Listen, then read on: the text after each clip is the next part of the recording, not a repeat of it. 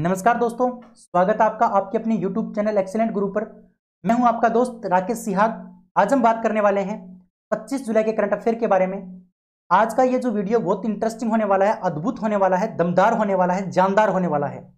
आपको वीडियो को अंत तक देखना है और लास्ट में मैं आपसे एक क्वेश्चन भी पूछूंगा उस क्वेश्चन का आंसर आपको कॉमेंट बॉक्स में कॉमेंट करके देना है अगर आपको वीडियो अच्छा लगता है तो आप वीडियो को लाइक करेंगे अपने दोस्तों तक शेयर जरूर करेंगे इसके साथ साथ आप चैनल को सब्सक्राइब करके बेल आइकन को जरूर दबाएंगे अगर आप वीडियो चैनल के ऊपर पहली बार हैं तो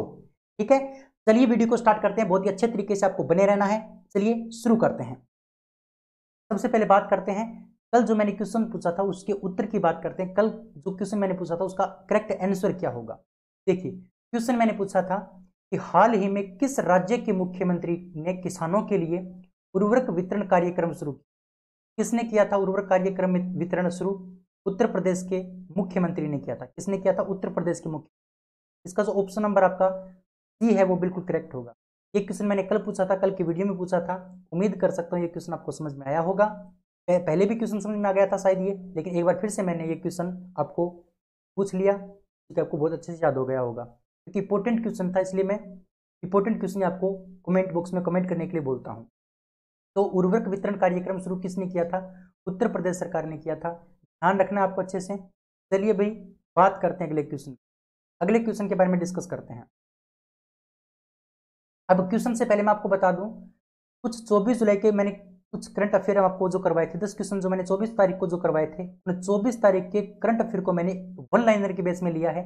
एक बार वन लाइनर में हम इसका क्या कर लेते हैं रिविजन कर लेते हैं जिससे कि आपको कल की जो जानकारी वो ताज़ी हो जाए और आप अच्छे से और भी इनको अच्छे से याद कर सको तो देखिए मैंने आपको कल पहले जो पहला क्वेश्चन पूछा था वो पूछा था कि हाल ही में रेल मंत्री ने पूर्वोत्तर राज्यों की सभी राजधानियों को कब तक रेल नेटवर्क से जोड़ने की घोषणा की है उसका करेक्ट आंसर था 2023 2023 तक जो रेल मंत्री हैं उन्होंने सभी पूर्वोत्तर राज्यों की जितनी भी राजधानियां हैं उनको रेल नेटवर्क से जोड़ने की घोषणा की है 2023 तक किसने रेल मंत्री पीयूष गोयल ने ठीक है ये बात आपको ध्यान रखनी थी उसके बाद मैंने दूसरा क्वेश्चन आपसे पूछा था कि हाल ही में किस राज्य सरकार ने आशा और आंगनबाड़ी कार्यकर्ताओं की मासिक परिवार पेंशन की घोषणा की है इसका आंसर था आपका ओडिशा ओडिशा जो राज्य सरकार है उसने आशा और जो आंगनबाड़ी कार्यकर्ता हैं उनकी मासिक परिवार पेंशन की घोषणा की थी ओडिशा सरकार ने अगला क्वेश्चन पूछा था कि हाल ही में लालजी टंडन का निधन हो गया वो किस राज्य के राज्यपाल थे तो आपको पता है मध्य प्रदेश के राज्यपाल थे लेकिन इनकी मृत्यु के बाद इनकी इनके निधन के बाद मध्य प्रदेश के राज्यपाल का अतिरिक्त कार्यभार किसे सौंपा गया है उत्तर प्रदेश की उत्तर प्रदेश के जो राज्यपाल हैं उनका नाम आनंदी बेन पटेल आनंदी बेन पटेल को क्या किया गया है ये कार्यभार कार्यभार सौंपा गया है ठीक है बिल्कुल उम्मीद कर सकते हैं क्वेश्चन आपको समझ में आया होगा अगले क्वेश्चन की बात करते हैं अगला क्वेश्चन था क्वेश्चन था हाल ही में बेरी जर्मन का निधन हो गया उनका संबंध किस से था तो बेरी जर्मन का जो निधन हुआ है उनका संबंध किससे था उसका संबंध था क्रिकेट से किससे था क्रिकेट से था उसके बाद मैंने आपसे क्वेश्चन पूछा था कि हाल ही में अंतर्राष्ट्रीय क्रिकेट परिषद यानी आईसीसी ने टी ट्वेंटी वर्ल्ड कप को कब तक के लिए स्थगित कर दिया है तो 2022 तक के लिए स्थगित कर दिया है अक्टूबर नवंबर में अब की बार होना था सितंबर सितंबर अक्टूबर में सितंबर अक्टूबर में ये होना था लेकिन 2020 में होना था लेकिन अब इसको कोरोना वायरस के चलते 2022 तक क्या कर दिया है स्थगित कर दिया है आईसीसी ने टी ट्वेंटी वर्ल्ड कप को ठीक है ये पांच क्वेश्चन थे इसके बाद हमने छठा क्वेश्चन की चर्चा की थी कि हाल ही में मालदीव ने किस देश के साथ माले में आपातकालीन चिकित्सा सेवा शुरू करने के लिए समझौता किया तो जो तो मालदीव है इसने किसके साथ किया था भारत के साथ समझौता किया था माले के अंदर आपातकालीन चिकित्सा सेवा शुरू करने के लिए तो जो भारत है वो मालदीव को क्या कर रहा है चिकित्सा सेवा दे रहा है आयुर्वेदिक दवाइयां दे रहा है खाद्य आपूर्ति दे रहा है ये इस समझौते के तहत भारत मालदीव को दे रहा है ठीक है ना बिल्कुल अगला क्वेश्चन हमने डिस्कस किया था कि हाल ही में किस बैंक ने कोविड 19 रोकथाम के लिए राष्ट्रव्यापी अभियान शुरू करने की घोषणा की तो उस बैंक का नाम बताना है जिसने कोविड नाइन्टीन की रोकथाम के लिए राष्ट्रव्यापी अभियान शुरू करने की घोषणा की थी तो उस बैंक का नाम था PNB bank Punjab national bank ध्यान रखना पंजाब नेशनल बैंक मतलब छह शहरों में देश के छह शहरों में क्या कर रही है mask plus sanitiser mask plus sanitiser वितरित कर रही है ठीक है ना ये क्वेश्चन आपको मैंने कल कल भी बताया था उम्मीद करता हूँ आपको समझ में आया है उसके बाद मैंने आपको क्वेश्चन करवाया था कि हाल ही में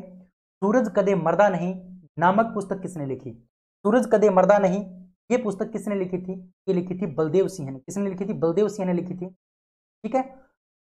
ये आपका आठवां क्वेश्चन था कल उसके बाद आपका जो दसवां नौवा जो क्वेश्चन था वो था कि हाल ही में जुआन मार्से का निधन हो गया वो कौन थे जुआन मार्से कौन थे तो वो एक उपन्यासकार थे जिन्होंने जिनका क्या हो गया हाल ही में निधन हो गया उसके बाद दसवां क्वेश्चन था कि प्रसिद्ध बॉलीवुड अभिनेता सोनू सूद ने श्रमिकों की मदद के लिए निम्न में से किस ऐप को लॉन्च किया तो प्रवासी रोजगार ऐप प्रवासी रोजगार ऐप को लॉन्च किसने किया था सोनू सूद ने किया था ठीक है ना चलिए ये थे आपके कल के दस क्वेश्चन उम्मीद करता हूं आपको कल भी समझ में आए थे आज फिर से आपका रिवाइज हो गया होगा अगर मेरे द्वारा किया गया प्रयास आपको पसंद आ रहा है तो आप वीडियो को लाइक करेंगे शेयर करेंगे और चैनल को सब्सक्राइब आप जरूर करेंगे इसके साथ साथ मैं आपको बता दूं अगर आप इस क्लास का पीडीएफ डाउनलोड करना चाहते हैं तो पीडीएफ डाउनलोड करने के लिए आप हमारे टेलीग्राम चैनल को ज्वाइन करेंगे और टेलीग्राम चैनल का नाम है ऑनलाइन दोस्त ऑनलाइन दोस्त अब बहुत सारे दोस्तों को पता नहीं है कि ये सर्च कहाँ पर करना है टेलीग्राम की जो ऐप होती है टेलीग्राम की ऐप अगर आपने डाउनलोड नहीं कर रखी है तो आप डाउनलोड कर लो टेलीग्राम की ऐप को कहाँ से प्ले स्टोर से प्ले स्टोर से इसको डाउनलोड कर लो और डाउनलोड करने के बाद ऊपर जो सर्च करने का जो चिन्ह आता है वहाँ पर आप सर्च करोगे ना ये नाम लगा के तो आपको चैनल मिल जाएगा उसको ज्वाइन कर लेना ठीक है बाबू चलिए आगे बढ़ते हैं अब बात करते हैं पहले क्वेश्चन आज का जो पहला क्वेश्चन है वो है कि हाल ही में आईसीसी के स्लाइवा प्रतिबंध नियम का उल्लंघन करने वाले पहले क्रिकेटर कौन बने हैं आपको पता है आईसीसी ने इस कोविड 19 के चलते बॉल को जो बॉल होती है ना गेंद होती है क्रिकेट की क्रिकेट की बॉल को लार से साफ जो किया जाता है उसके ऊपर प्रतिबंध लगा दिया गया था आपने देखा होगा क्रिकेट के अंदर खिलाड़ी क्या करते हैं उसके ऊपर लार्स उसके ऊपर रगड़ते हैं और उसको साफ करते हैं बोल को है ना उसको चमक पैदा करने के लिए उसके ऊपर अभी आईसीसी ने क्या कर दिया था कोविड नाइन्टीन के चलते उसके ऊपर प्रतिबंध लगा दिया था लेकिन इस सलाइवा प्रतिबंध नियम का उल्लंघन करने वाले पहले कौन से क्रिकेटर बने हैं कौन पहले क्रिकेटर बने हैं इसका करेक्ट आंसर होगा डोम सिबली डोम सिबली इस नियम को इस नियम का उल्लंघन करने वाले पहले क्रिकेटर बने हैं सलाइवा प्रतिबंध का ठीक है ना डोम सिबली अच्छा इस क्वेश्चन के बारे में डिस्कस करते हैं तो डोम सिबली हैं वो इंग्लैंड के क्रिकेट खिलाड़ी हैं किसके हैं इंग्लैंड के क्रिकेट खिलाड़ी हैं एक नंबर बात ये याद रखना है आपको सिबली जो हैं वो इंग्लैंड के क्रिकेट खिलाड़ी हैं यहाँ पर बात करते हैं आईसीसी की यानी आईसीसी ने आईसीसी ने क्या बनाया था लाइवा प्रतिबंध बनाया था तो यहाँ पर हम बात करते हैं आईसीसी के बारे में आईसीसी की फुल फॉर्म है international cricket council international cricket council ठीक है उसके बाद हिंदी का अगर अंदर बात करें तो हिंदी में इसकी फुल फॉर्म है अंतर्राष्ट्रीय क्रिकेट परिषद अंतर्राष्ट्रीय क्रिकेट परिषद हिंदी के अंदर इसकी फुल फॉर्म है उसके बाद इसकी स्थापना 15 जून दो पंद्रह जून 1909 को की गई थी मुख्यालय इसका दुबई के अंदर है सीईओ e का नाम है मनु सहानी और अध्यक्ष का नाम है शशांक मनोहर ये सारी बातें आपको ध्यान रखनी है आईसीसी के बारे में और यहाँ से क्वेश्चन पूछे जाने की संभावना बहुत ज्यादा होती है उम्मीद कर सकता हूँ ये क्वेश्चन आपको बहुत अच्छे से समझ में आया होगा अगले क्वेश्चन की ओर बढ़ते हैं अगला क्वेश्चन है कि हाल ही में फीफा ने 2022 का विश्व कप किस देश में आयोजित करने की घोषणा की है अच्छा फीफा का जो फुटबॉल जो विश्व कप होता है उसने 2022 का जो विश्व कप है वो किस देश में आयोजित करने की घोषणा की है तो इसका जो करेक्ट आंसर होगा वो होगा ऑप्शन नंबर सी कतर के अंदर कहां पर की है कतर के अंदर की है कतर के अंदर फीफा ने 2022 का जो विश्व कप होने वाला है फुटबॉल का विश्व कप वो किस देश में आयोजित करने की घोषणा की है तो ध्यान रखना कतर के अंदर की है ऑप्शन नंबर सी आपका बिल्कुल राइट है चलिए इस क्वेश्चन के बारे में डिस्कस करते हैं सबसे पहले बात करते हैं फीफा की फीफा की फुल फॉर्म क्या है फीफा की फुल फॉर्म है federation international de football association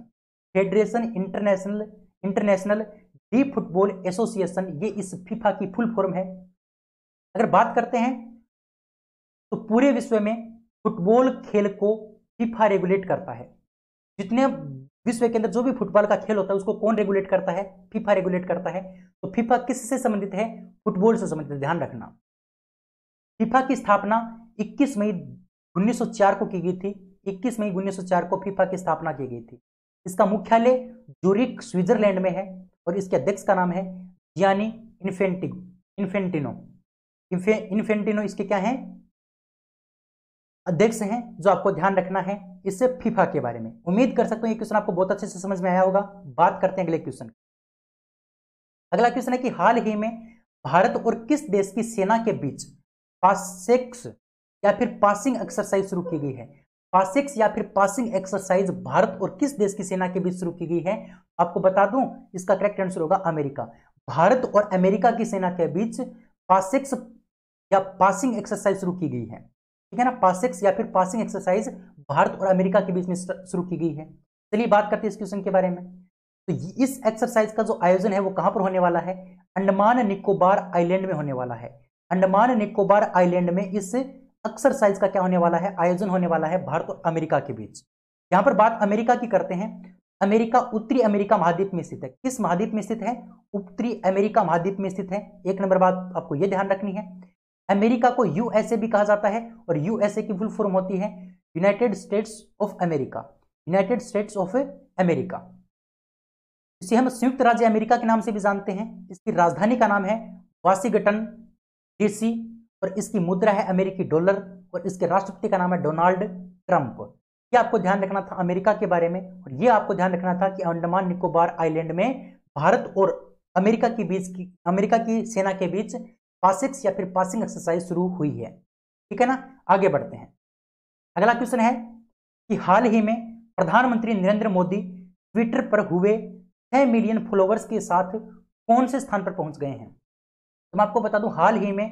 प्रधानमंत्री नरेंद्र मोदी के ट्विटर के ऊपर एक सोशल मीडिया हैंडल है ट्विटर फेसबुक इंस्टाग्राम के जैसे ही तो ट्विटर के ऊपर छह मिलियन फॉलोवर हो चुके हैं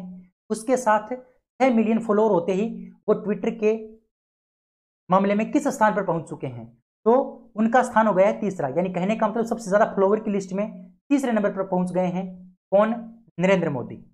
अच्छा पहले और दूसरे नंबर पर कौन इनके बारे में चर्चा करते हैं तो पहले स्थान पर हैं ब्राक ओबामा जो तो अमेरिका के पूर्व राष्ट्रपति हैं उसके बाद दूसरे स्थान पर हैं डोनाल्ड ट्रंप जो तो अभी हाल ही में अमेरिका के राष्ट्रपति हैं और तीसरे स्थान पर हैं भारत के नरेंद्र मोदी दो अमेरिका के और एक है नरेंद्र मोदी भारत के ठीक है ना तो ये क्वेश्चन आपको ध्यान रखना था अगले क्वेश्चन की बात करते हैं अगला क्वेश्चन आपके सामने ये रहा क्वेश्चन है कि हाल ही में भारत के पहले सार्वजनिक इलेक्ट्रिक वाहन यानी ईवी चार्जिंग प्लाजा का उद्घाटन कहां पर किया गया है ध्यान रखोगे आप अच्छे से भारत के पहले सार्वजनिक इलेक्ट्रिक वाहन चार्जिंग प्लाजा का उद्घाटन कहां पर किया गया है तो मैं आपको बता दूं नई दिल्ली के अंदर किया गया है कहां पर किया गया है नई दिल्ली के अंदर किया गया है ऑप्शन नंबर आपका बी बिल्कुल क्या हो जाएगा राइट आंसर हो जाएगा भारत के पहले सार्वजनिक इलेक्ट्रिक वाहन चार्जिंग प्लाजा का उद्घाटन नई दिल्ली के अंदर किया गया चलिए इस क्वेश्चन के बारे में चर्चा करते हैं एनर्जी इफिशियंसी यानी ऊर्जा दक्षता को बढ़ाने और इलेक्ट्रिक मोबिलिटी को बढ़ावा देने के लिए केंद्रीय ऊर्जा मंत्री आर के सिंह ने दिल्ली में भारत के पहले सार्वजनिक इलेक्ट्रिक वाहन चार्जिंग प्लाजा का क्या किया उद्घाटन किया तो भारत का पहला सार्वजनिक इलेक्ट्रिक वाहन चार्जिंग प्लाजा कहां पर किया गया है इसका उद्घाटन नई दिल्ली के अंदर एक नंबर क्वेश्चन दूसरा क्वेश्चन आपके आपको पूछा जा सकता है केंद्रीय ऊर्जा मंत्री का क्या नाम है तो आप ध्यान रखोगे आर के सिंह है आर के सिंह क्या है केंद्रीय ऊर्जा मंत्री है अच्छा इसका उद्घाटन क्यों किया गया है एनर्जी इफिशियंसी यानी ऊर्जा की दक्षता बढ़ाने के लिए और इलेक्ट्रिक मोबिलिटी को बढ़ावा देने के लिए इसका उद्घाटन किया गया है कहां पर किया गया नई दिल्ली के अंदर किया गया तो नई दिल्ली की बात करते हैं नई दिल्ली के मुख्यमंत्री का नाम है अरविंद केजरीवाल उपराज्यपाल का नाम है अनिल बेजल वहां पर राज्यपाल नहीं होते वहां पर उपराज्यपाल होते हैं ठीक है ना उपराज्यपाल यानी जो भी मतलब केंद्र शासित जो प्रदेश होता है जो भी केंद्र शासित प्रदेश होता है वहां पर राज्यपाल नहीं होकर के कौन होता है उपराज्यपाल होता है ध्यान रखना ठीक है आगे बढ़ते हैं नंबर क्वेश्चन है कि हाल ही में रमेश बाबू किस बैंक के नए एमडी और सीईओ e बने हैं रमेश बाबू किस बैंक के नए एमडी और सीईओ e बने हैं तो मैं आपको बता दूं रमेश बाबू जो हैं वो करूर वैश्य बैंक के करूर वैसे बैंक के नए एमडी और सीईओ e बने हैं रमेश बाबू करूर वैसे बैंक के इस क्वेश्चन के बारे में चर्चा करते हैं देखिए यह पी आर शेषाद्री का स्थान लेंगे पी आर शेषाद्री का स्थान कौन लेंगे रमेश बाबू लेंगे पी आर शेषाद्री की जगह लेंगे रमेश बाबू रमेश बाबू इससे पहले स्टेट बैंक ऑफ इंडिया में उप प्रबंध निदेशक के रूप में सेवारत थे किसके रूप में सेवारत थे उप प्रबंध निदेशक के रूप में सेवारत थे कहां पर स्टेट बैंक ऑफ इंडिया के अंदर एस के अंदर एस में उप प्रबंधक के रूप में क्या थे कार्यरत थे लेकिन अब इन्होंने पी से सादरी की जगह ली है एम और सी के रूप में क्रूर वैश्य बैंक के अंदर यहाँ पर बात क्रूर वैश्य बैंक की करते हैं तो क्रूर वैश्य बैंक की स्थापना 1916 में की गई थी इसका मुख्यालय करूर तमिलनाडु के अंदर है और इसके एमडी और सीईओ कौन बने हैं रमेश बाबू बने हैं अगले क्वेश्चन की ओर बढ़ते हैं अगला क्वेश्चन ये रहा कि हाल ही में किस देश में उपभोक्ता संरक्षण अधिनियम 2019 लागू हुआ है उपभोक्ता संरक्षण अधिनियम 2019 लागू किस देश में हुआ है यह क्वेश्चन आपसे पूछा है तो ध्यान रखोगे उपभोक्ता संरक्षण अधिनियम 2019 जो लागू हुआ है वो भारत के अंदर हुआ है कहां पर हुआ है भारत के अंदर हुआ है ऑप्शन नंबर आपका जो ए है वो बिल्कुल क्या होगा राइट आंसर होगा ऑप्शन नंबर ए आपका बिल्कुल राइट है उपभोक्ता संरक्षण अधिनियम 2019 कहां पर लागू हुआ है भारत के अंदर लागू हुआ है ध्यान रखोगे आप अच्छे से चलिए बात करते हैं इस क्वेश्चन के बारे में देखिए ग्राहकों के साथ आए दिन होने वाले धोखाधड़ी को रोकने के लिए उपभोक्ता संरक्षण का नया कानून लागू किया गया है उपभोक्ता संरक्षण का नया कानून लागू किया गया है धोखाधड़ी को रोकने के लिए तो यह क्वेश्चन आपको समझ में आया होगा अगले क्वेश्चन की ओर बढ़ते हैं अगला क्वेश्चन आपके सामने ये रहा अगला क्वेश्चन है कि हाल ही में किस राज्य में केंद्रीय खाद्य प्रसंस्करण उद्योग मंत्री हरसिमरत कौर बादल ने जोरम मेगा फूड पार्क का उद्घाटन किया किस राज्य के अंदर जोरम मेगा फूड पार्क का उद्घाटन किया है और किसने किया है केंद्रीय खाद्य प्रसंस्करण उद्योग मंत्री हरसिमरत कौर बादल ने केंद्रीय खाद्य प्रसंस्करण उद्योग मंत्री हरसिमरत कौर बादल ने जोरम मेगा फूड पार्क का उद्घाटन कहां पर किया है तो मिजोरम के अंदर किया है कहां पर किया है मिजोरम के अंदर किया है ऑप्शन नंबर आपका ए बिल्कुल राइट हो जाएगा ठीक है भाई इस क्वेश्चन के बारे में डिस्कस कर लेते हैं देखिए जोरम मेगा फूड पार्क पांच हजार लोगों को प्रत्यक्ष एवं अप्रत्यक्ष रूप अप्रत्यक्ष रूप से क्या देगा रोजगार देगा और लगभग पच्चीस हजार किसानों को क्या करेगा लाभ प्रदान करेगा यहां पर बात करते हैं मिजोरम की तो मिजोरम की राजधानी का नाम है आइजोल ध्यान रखोगे आप अच्छे से मिजोरम की राजधानी का नाम आइजोल है मुख्यमंत्री का नाम है जोरम थंगा मुख्यमंत्री का क्या नाम है जोरम थंगा राज्यपाल का नाम क्या है P S Sreedharan Pillai P S Sreedharan Pillai राज्यपाल है किसके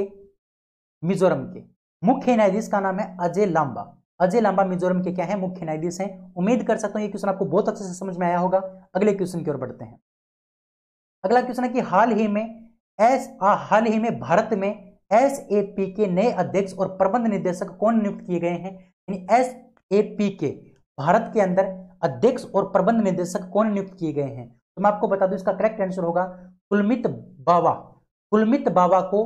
एस ए पी के नए अध्यक्ष और प्रबंध निदेशक के रूप में नियुक्त किया गया है कुलमित बाबा को ऑप्शन नंबर ए आपका बिल्कुल करेक्ट है चलिए इस क्वेश्चन के बारे में डिस्कस कर लेते हैं बात करते हैं एस ए पी के बारे में तो एस ए पी की फुल फॉर्म है system application and products in data processing systems application and products in data processing और मैं आपको बता दूं एस ए पी जो है वो एक सॉफ्टवेयर कंपनी है सॉफ्टवेयर बनाने वाली कंपनी है एस ए पी कंपनी और तो इसकी स्थापना 1 अप्रैल उन्नीस को की गई थी इसका मुख्यालय कहां पर है वुरतेमबर्ग में कहां पर है वुरतेमबर्ग जर्मनी के अंदर इसका क्या है मुख्यालय है वुरतेमबर्ग जर्मनी के अंदर इसका क्या है मुख्यालय है ये बात भी आप अच्छे से ध्यान रखोगे तो उम्मीद कर सकता हूं एस के बारे में आपको समझ में आया होगा और इस क्वेश्चन के बारे में भी आपको समझ में आया होगा एस के नए अध्यक्ष और प्रबंध निदेशक कौन नियुक्त किए गए हैं कुलमित बाबा नियुक्त किए गए हैं चलिए भी अगले क्वेश्चन की ओर बढ़ते हैं क्वेश्चन है कि निम्न में से किस राज्य सरकार ने पंचायती चुनाव में महिलाओं को 50 प्रतिशत आरक्षण प्रदान करने वाले विधेयक को पेश करने वाली है उस राज्य सरकार का नाम बताना है जो पंचायती चुनाव में महिलाओं को 50 प्रतिशत आरक्षण प्रदान करने वाले विधेयक को पारित करने वाली है तो उस राज्य सरकार का नाम है हरियाणा हरियाणा जो राज्य सरकार है वो पंचायती चुनाव जो होते हैं उनमें महिलाओं को 50 परसेंट आरक्षण प्रदान करने के लिए एक विधेयक पारित करने वाली है विधेयक पे, पेश करने वाली है ठीक है चलिए इस क्वेश्चन के बारे में डिस्कस करते हैं हरियाणा के उप मुख्यमंत्री दुष्यंत चौटाला ने हाल ही में पंचायती राज संस्थाओं में महिलाओं को 50 प्रतिशत आरक्षण देने के लिए अगले विधानसभा सत्र में एक विधेयक ला, लाने की घोषणा की है और दुष्यंत जो चौटाला है वो उप मुख्यमंत्री तो हैं ही हैं ही इस हरियाणा के लेकिन इसके साथ साथ उद्योग ग्रामीण विकास और पंचायती राज मामलों के मंत्री भी हैं उद्योग ग्रामीण विकास और पंचायती राज मामलों के मंत्री भी कौन है हरियाणा के अंदर दुष्यंत चौटाला है जो हरियाणा के उप मुख्यमंत्री भी हैं उम्मीद कर सकते हैं ये क्वेश्चन आपको बहुत अच्छे से समझ में आया होगा चलिए अब बात करते हैं आज के question of the question of the day के बारे में आज इस क्वेश्चन का आंसर आपको कमेंट बॉक्स में कमेंट करके बताना है क्वेश्चन है कि हाल ही में कौन राष्ट्रपति रामनाथ कोविंद के निजी सचिव नियुक्त किए गए हैं राष्ट्रपति रामनाथ कोविंद के निजी सचिव कौन नियुक्त किए गए हैं इस क्वेश्चन का आंसर आपको कमेंट बॉक्स में कमेंट करके बताना है कमेंट में आपको कमेंट करके बताना है और अच्छे से आप कमेंट करोगे बिल्कुल अच्छे से करोगे आपको वीडियो कैसा लगा इसके बारे में भी आप बताओगे अगर आपको अच्छा लगा तो आप वीडियो को लाइक करेंगे शेयर करेंगे और चैनल को सब्सक्राइब जरूर करेंगे आज के इस वीडियो में इतना ही अगले वीडियो में फिर मिलते हैं तब तक के लिए जय हिंद जय Bharat thank you bye bye have a nice day thank you